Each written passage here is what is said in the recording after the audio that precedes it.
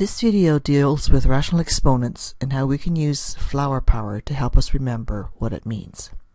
Let's get back to basics. A fraction 2 over 3 has a numerator and a denominator.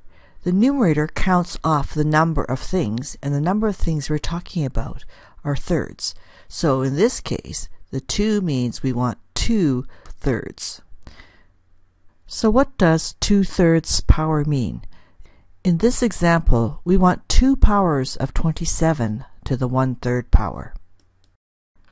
Or rewriting it, we want 27 to the 1 third to the second power.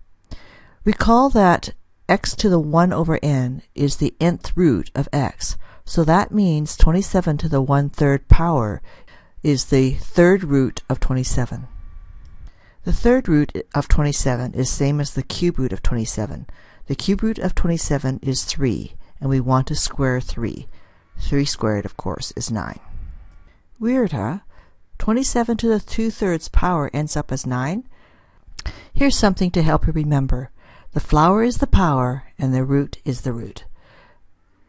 So we could write this as the cube root of 27 first, then raise it to, to the second power, or we can raise 27 to the second power first, then cube the result. We can also look at it this way. We want two-thirds of the powers of 27. 27 is 3 cubed. We can find two-thirds of 3, which is 2. 3 squared equals 9. So 27 to the two-thirds power equals 9.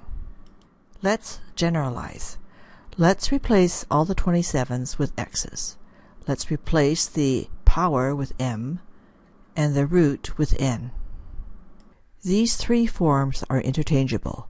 x to the power m over n is the same as the nth root of x, then raised to the m power, or take x to the m power and then find the nth root.